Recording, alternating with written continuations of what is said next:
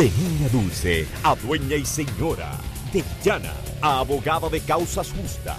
Pero ahora la verás sin joyas ni vestidos sensuales. Totalmente diferente. Carla Monroy, que es Virginia Dávila, la hermana mayor de Manuela, un tanto masculina. Su única pasión es la empresa familiar, pero en realidad es un alma sedienta de amor. Más sabe el diablo. Gran estreno el 3 de agosto solo por Telemundo.